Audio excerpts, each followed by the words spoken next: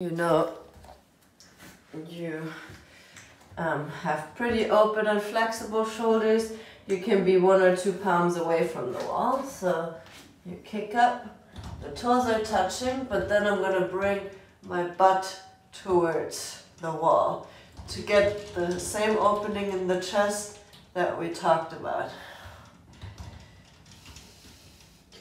It feels quite nice to open the shoulders here and you don't have to worry about balance.